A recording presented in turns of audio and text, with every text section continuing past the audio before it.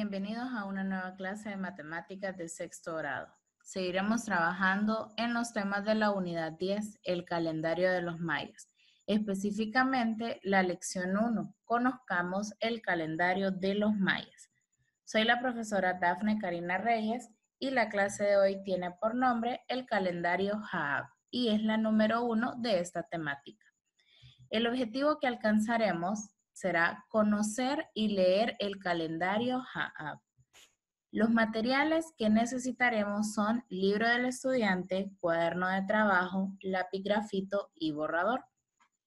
El contenido podemos encontrarlo en la página 150 y 151 de la guía del docente y la página 112 y 113 del libro del estudiante. Iniciaremos la temática realizando algunos ejercicios de tema anterior. Escriba la lectura de las siguientes fechas del Solquín. Si ustedes recuerdan, el calendario de los mayas que nosotros aprendimos en las clases anteriores fue el calendario Solquín.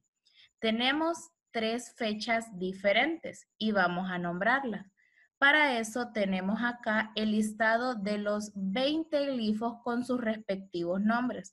Recordemos que una fecha del calendario Solquín está formada por un número y un glifo, que al unirlos forman una fecha como ya les había mencionado.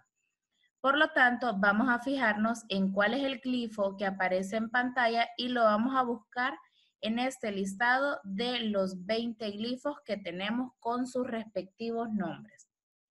Podemos decir entonces que esta fecha es, si nos fijamos, el número 3, entonces colocamos 3 IC, ya que este glifo corresponde a este que se encuentra acá, que es el glifo IC.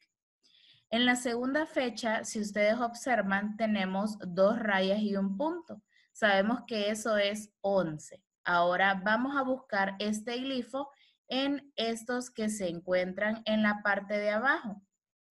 Y vamos a determinar cuál es la fecha que se forma.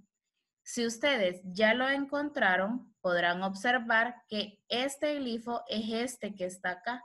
Por lo tanto, la segunda fecha es 11 OC.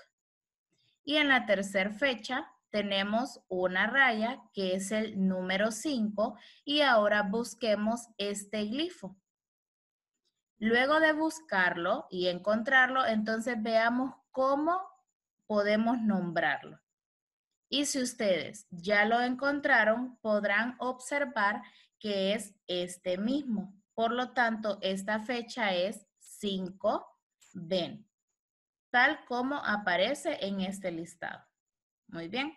Realicemos otra actividad. Represente en el Solquín las fechas siguientes a partir del 1 IMIX. Tenemos en este caso el día 69 del ciclo. Entonces, ¿qué debemos realizar como planteamiento operacional? Vamos a escribir el 69 y lo vamos a dividir entre 13, ya que en el calendario Solquín los números mayas se escriben del 1 al 13. Al realizar la división 69 entre 13, podemos determinar que vamos a buscar un número que multiplicado por 13 nos dé 69 o lo más cerca que se pueda.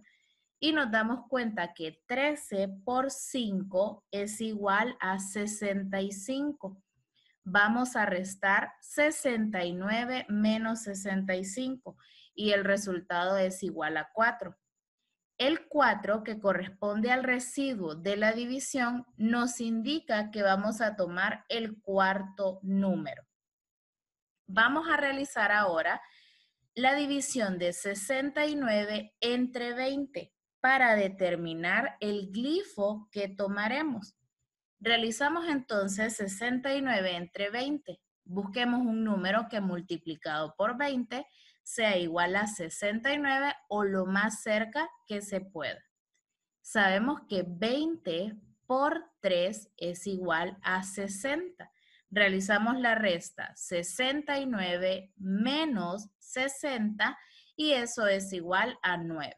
9 corresponde al residuo de la división y también va a corresponder al noveno nombre que nosotros encontremos en el listado de los 20 glifos. Si ustedes observan, acá tenemos los 20 glifos con su respectivo nombre.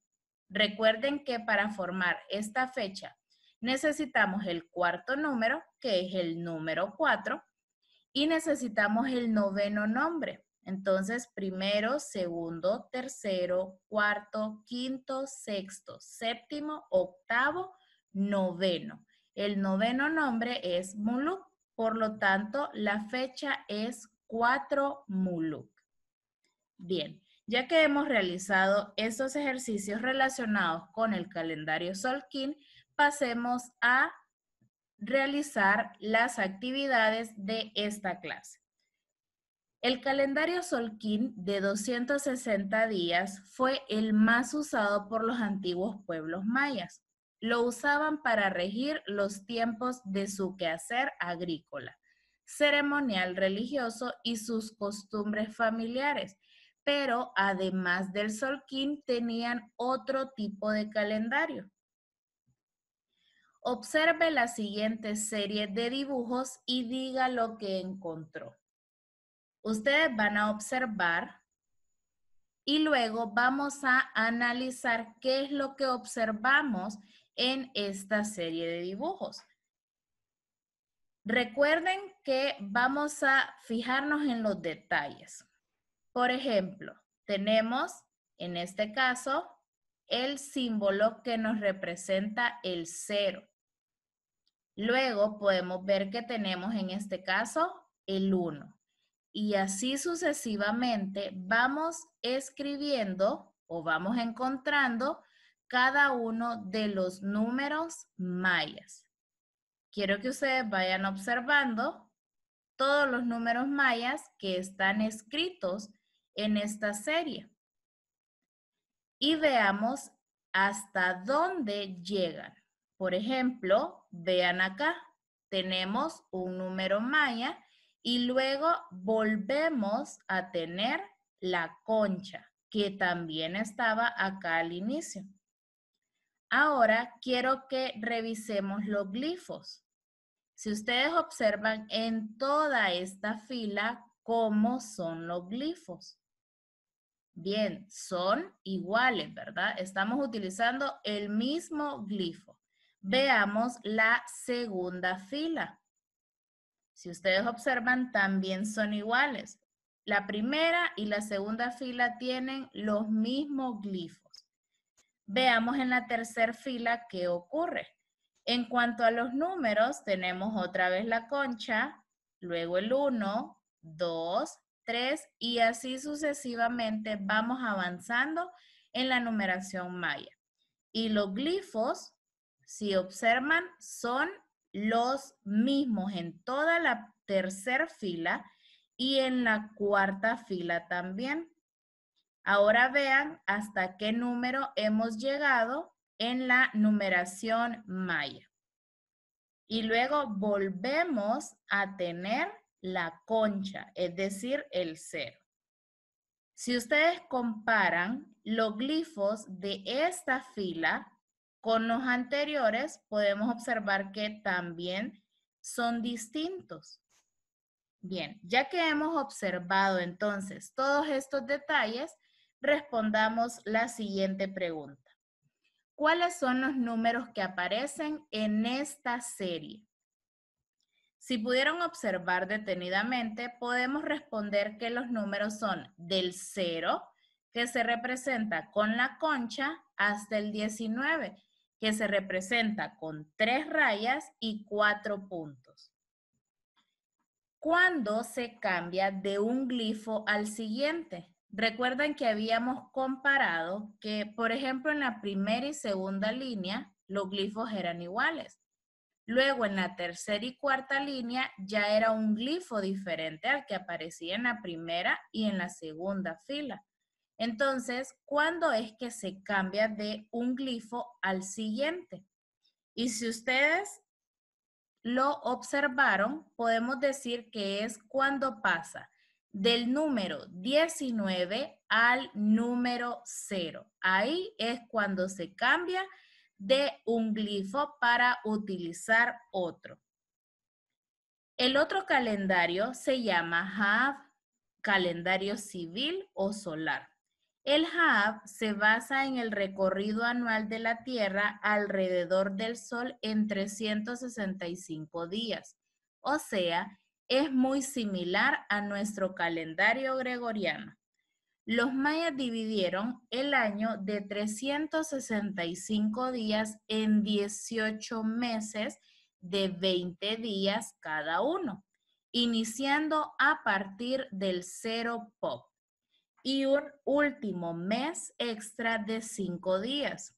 Se expresa cada fecha usando la combinación de un número del 0 al 19.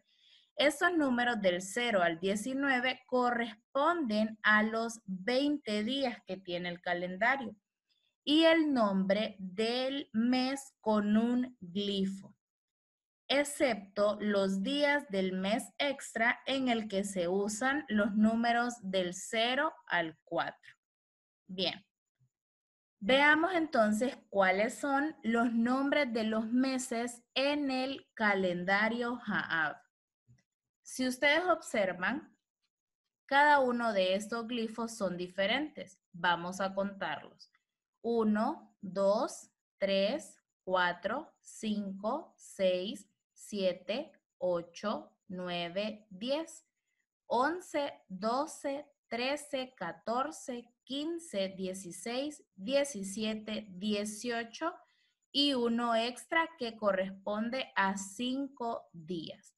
Entonces veamos cómo es la lectura o los nombres de cada uno de estos meses.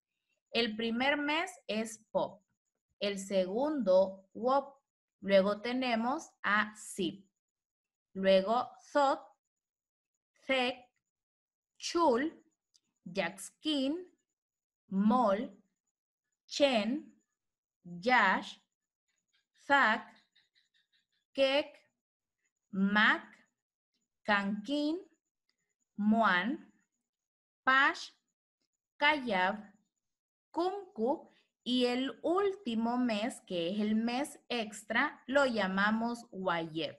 Y ese mes tiene cinco días. Estos son entonces los nombres de los meses en el calendario Haab. Recordemos que la fecha se conforma de un número que va desde el 0 hasta el 19 y uno de todos estos glifos que tenemos en el listado que corresponden a un mes. Bien, esto ha sido todo por hoy. Soy la profesora Dafne Karina Reyes. Hasta la próxima.